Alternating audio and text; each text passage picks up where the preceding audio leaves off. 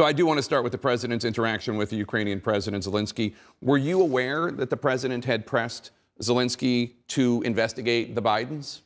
I was not on that call, so I'm not aware. But I've been on plenty of other calls with the president. There's other people who listen to these calls, so I don't expect there were any issues whatsoever.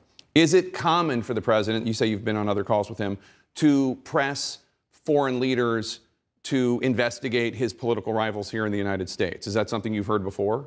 Uh, I haven't heard that, and I think you're speculating on what the president said. I would say these are confidential discussions between two foreign leaders. But I think the bigger issue is Biden came out this weekend saying he'd never had any discussions with his son. His son came out and said he had had business discussions with his father. So I really think that the real issue here is not what the president said, but what indeed uh, did Biden's son do? Well, the one, I, I think what you're referring to is that in a New Yorker story a few months ago, Hunter Biden said that they had talked about it once and it was just Joe Biden saying to him, I hope you know what you're doing. So that's the issue here. But I, I, the reason it's you say it's speculative, but the Wall Street Journal and the Washington Post have both reported on the contents of this call. There is a whistleblower who is trying to bring attention to this to Congress.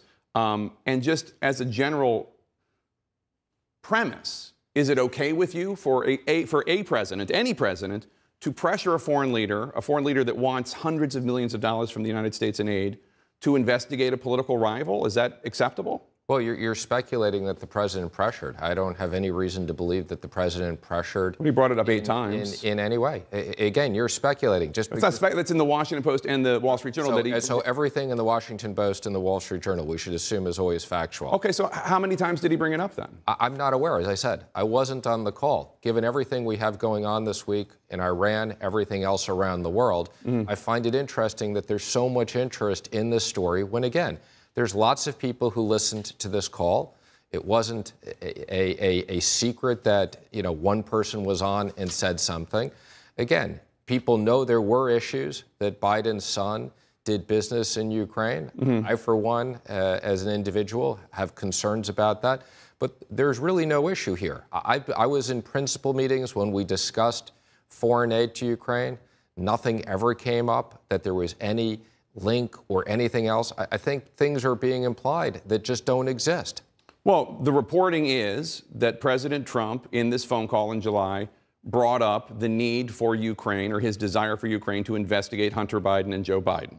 Uh, nobody has denied that that's the case. There is a whistleblower who wants to bring this information. He has a whistleblower complaint to Congress, and the White House is preventing that. If there really is nothing there, why not just, why shouldn't the White House just let Congress, let the Gang of Eight, the intelligence leaders and the leaders of the House and Senate, look at this whistleblower complaint. If it's as innocent as you say, then that will clear it all up. I think that would be a terrible precedent. Conversations between world leaders are meant to be confidential. And if every time someone, for political reasons, raised a question and all of a sudden those conversations were disclosed publicly, and when you disclose them to Congress, lots of times they leak mm-hmm. into the press, then why would world leaders want to have conversations together? So the real issue here is, is this was an important week. It was a very important week, what, on, what went on with Iran, the maximum pressure campaign.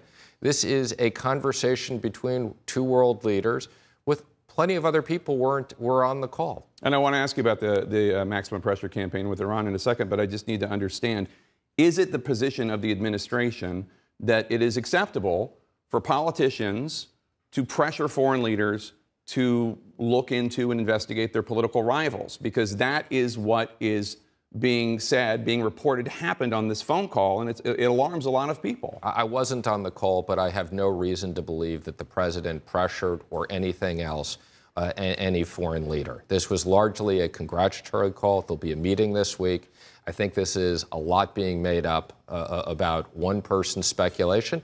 And again, this isn't the first time when the president's been attacked and things have turned out to be incorrect. Are you going to be at the meeting with President Trump and President Zelensky? Yes, I expect to be at that meeting. If President Trump brings up this desire of his to have uh, the Ukrainians investigate the Bidens. And again, the Ukrainian prosecutor has said on the record, and the Ukrainian foreign minister have said on the record, that there's nothing there. They did look into it, and there's no evidence of wrongdoing. If President Trump brings it up, will you say something? Will you say, I don't think that's appropriate? Again, my, my conversations between the president and I are confidential. But let me just say, I find it interesting that we spent close to seven and a half minutes talking about a political issue and not talking about what's the real issue of the week, which is Iran launched an attack on Saudi Arabia, which was not just about Saudi Arabia, it's on the world economic system. And this is a very, very significant issue. That's really been our focus this week. Well, I, I do want to talk about that, but let me just close by asking if, for instance, President Obama had pressured a foreign leader, Putin or the president of Ukraine, anyone, and said, I want you to uh, look into Donald Trump Jr., or I want you to look into Eric Trump, international businessmen, both of them.